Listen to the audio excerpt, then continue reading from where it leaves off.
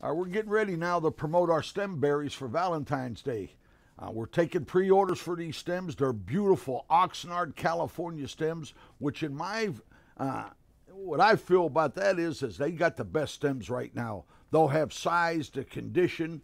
Also, there's a few stems in Florida. Uh, I did take a look at some of them. They're nice, but we're going to go to California rot because I just feel on a quality standpoint with size they'll be nice. They'll be anywhere from 12 to 16. Please book your orders in with your sales uh, rep, and uh, we're going to cover them. As you see, uh, we're going to have deliveries uh, beginning 2 7. And uh, like I says, we're going to have the right quality and the right price. So be sure you, you pre order them, and uh, we'll get them delivered.